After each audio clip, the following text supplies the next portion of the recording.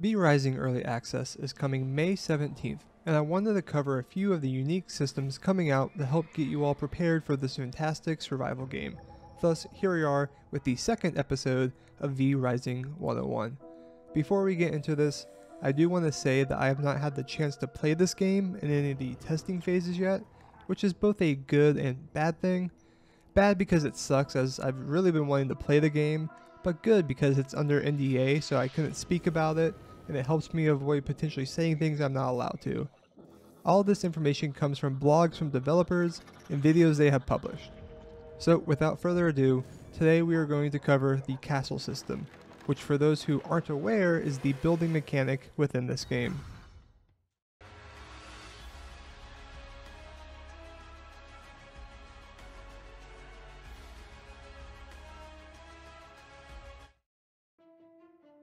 Every vampire lord needs a castle to rule from, and while we may not have scientific teleporting walking castles like in Castlevania, yet, there's a lot of amazing mechanics in developing your stronghold and it's important to understand it. You'll begin in the ruins of a castle, but piece by piece, wall by wall, you will create your home and fill it with personalized decorations, workstations, and servants to help you operate and defend it. Players will unlock new technology and gear in their castle, Expanding the castle and upgrading its rooms will allow players to access a wider variety of equipment. The more the castle grows, the more there will be to discover. You won't be alone though, as you can share your castle with your clan, which can be up to 4 people, so you can team up to create it and grow it. And there could be up to 50 castles on the map, so larger servers mean more states to compete with. So let's go ahead and get started with the basics. What makes the castle? The core of it is going to be your castle heart, the living, beating heart of your territory. This was previously called the Bloodwell if you recognize that name. The developers explained the best by saying, the castle heart acts as a point to feed blood into, reinforcing the castle structure and preventing it from falling into disrepair. While the castle heart is adequately fed and maintained, your crafting stations will not only operate more effectively, but the castle defenses will be significantly more challenging to assail from the outside its walls will be more difficult to harm and even regenerate their structure at a rate that makes it impossible to break in with claws or simple weapons alone. As long as you maintain the castle heart, breaking in will be nearly impossible without an impressive coordinated effort and significant dedicated resources. No matter what the adventure in the world of Vardoran, it will always lead back to your domain, the place to return to store your loot and have it made into valuable tools to rise up in power. When you die, you return to your coffin to shake off the grave dust and plan for devious revenge. It's a safe place to share with fanged brothers and sisters and revel in victories after a long night's hunt. Maintaining this castle heart will be the most important thing you will want to do to secure your stronghold to allow you to build amazing craft stations, decorations, and more. So what can you build?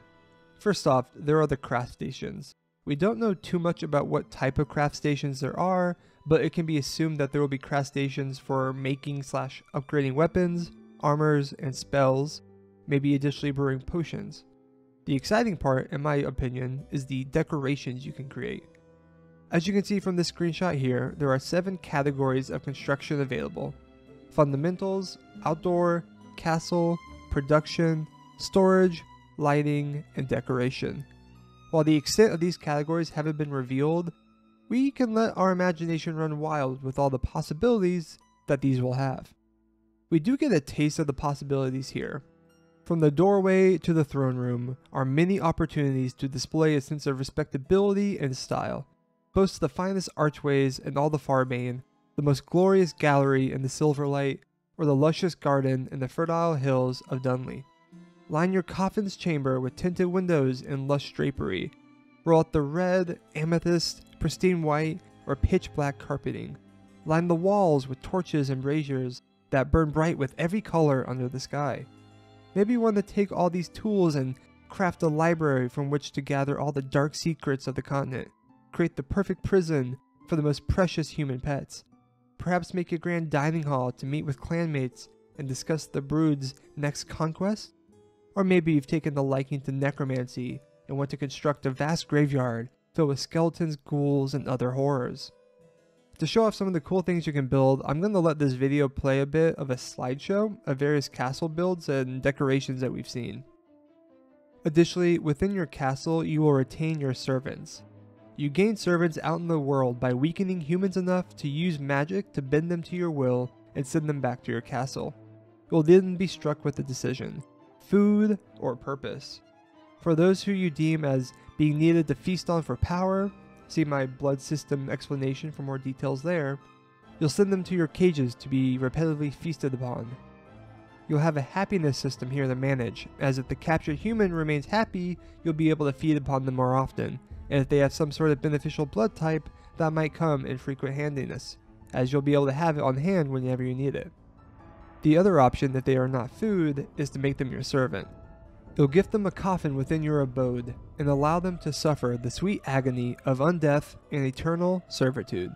These servants can be used to protect your castle when it's under attack, to be sent out on missions to gather supplies, or act as a helping hand with crafting. Thralls provide another dimension to the castle, a sense of activity and unlife that adds to the feeling of being a dark overseer commanding the lessers to further their evil goals. Lastly, as we mentioned, raiding will be a thing in this game. Before we go into this, just know this will be an optional thing depending on what kind of server you run. Based on this, the extent of which your castle can be raided may vary, and you should decide what type of server you want to be on if you even want it to be damaged. Nothing wrong with wanting to play this game purely PvE. As mentioned before, if you retain the strength of your castle heart, then it will be incredibly difficult for people to raid your home. As the dev stated, when the castle heart is well fed, other vampires will find it challenging to get in. As long as it's secured and fortified, it should take some extra effort for someone to break through. Castles will heal themselves over time if they prove unsuccessful or do minor damage. Unless the enemy can do a lot of targeted destruction over a short period, it will be like they never tried to attack. So keep that castle heart fed, and you'll be just fine. And yeah, those are the basics of the castle system in V Rising.